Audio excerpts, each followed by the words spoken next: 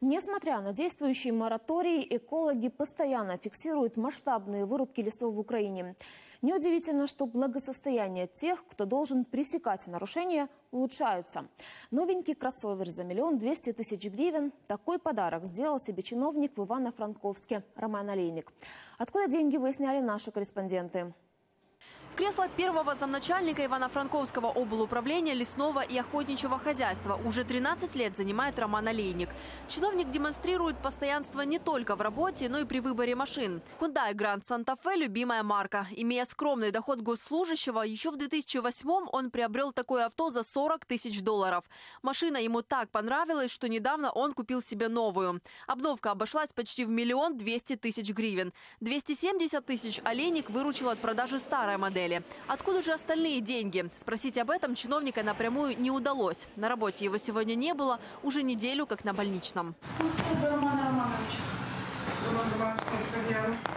Правда, пообщаться с чиновником мы все же смогли по телефону. И он нас заверил, деньги на покупку машины собирали всей семьей. Це накопичення різні, там є, є і тестя мого, е, є і батьків, і мої.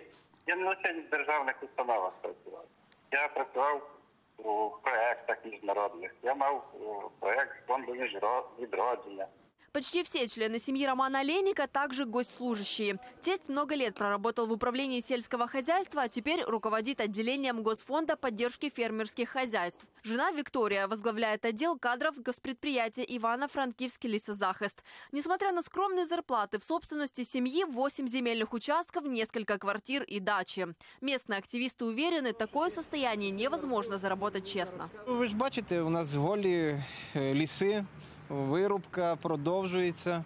От, він має безпосереднє відношення до, до кожної з цих вирубок. Зв'язки його у нас вони досить великі, вони з кожним лісництвом. От, наприклад, в Поляницькому лісництві я особисто виявив незаконну порубку лісу, там більше, ніж на 2 мільйона. Конечно же, сам чиновник подобные обвинения отвергает. А местным активистам остается лишь удивляться, почему декларация Олейника до сих пор не привлекла внимание детективов антикоррупционного бюро.